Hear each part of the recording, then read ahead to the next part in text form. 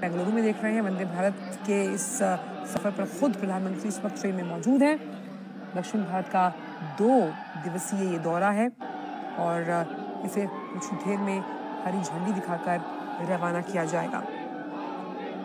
तो वंदे भारत एक्सप्रेस, जब हम बात करते हैं कि किस तरह से इसको डिज़ाइन किया गया है, तमाम जो मॉडिफाइड वर्जन्स हैं, मॉडर्न तकनीक आपको यहाँ पर मिलेगी और सबसे अहम बात यह है कि सभी कुछ जो है वो मेक इन इंडिया के इस वक्तव्य को और मज़बूत करता हुआ वंदे भारत एक्सप्रेस, जहाँ तक हम गति की बात करते हैं, गतिशील, सुरक्षित और साथ ही साथ एक आपको वर्ल्ड क्लास जो यात्रा का एक्सपीरियंस होता है, उसे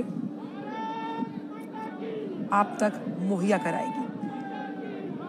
हालाँकि सेमी हाई स्पीड ट्रेन हम इसको मानते हैं और इसको डिज़ाइन मैन्युफैक्चरिंग या तमाम जो इसके मॉडिफाइड वर्जन्स या और उन्नत तकनीक जो है, वो भारत में ही निर्मित की गई है। तो दक्षिण भारत के दो दिन के दौरे पर प्रधानमंत्री हैं। आप देख सकते हैं प्रधानमंत्री हाथ हिलाकर अभिवादन करते हुए और अभी कुछ देर में इसी वंदे भारत एक्सप्रेस को, जो कि चेन्नई मैसूर वंदे भारत एक्सप्रेस है, इसी ट्रेन की सौगात मिलने वाली है बेंगलुरु वासियों को। देश की पांचवी दक्षिण भारत की पहली वंदे भारत ट्रेन, जिसकी शुरुआत आप देख सकते हैं ये ऐतिहासिक पल जिसके साक्षी हम बन रहे हैं। इसे हरी झंडी दिखाएँगे अभी कुछ ही मिनटों में प्रधानमंत्री नरेंद्र मोदी। और इसके साथ ही कुछ देर में भारत गौरव काशी जो ट्रेन है, उसको भी हरी झंडी दिखाकर रवाना किया जाएगा।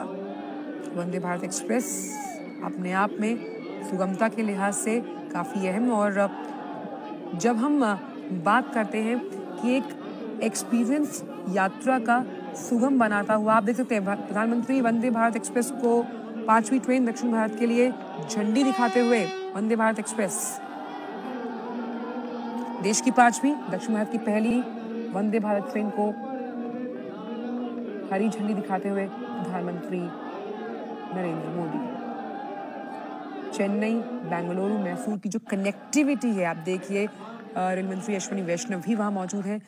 तो कनेक्टिविटी के लिहाज से वंदे भारत गतिशीलता को आगे बढ़ाती हुई, और ये जब पटरी पर वंदे भारत चलती है तो कहीं ना कहीं देश की आर्थिक व्यवस्था की एक मज़बूत तस्वीर आप देख सकते हैं। तो वंदे भारत चल पड़ी है, देश की पांचवी, दक्षिण भारत की पहली ट्रेन, वंदे भारत।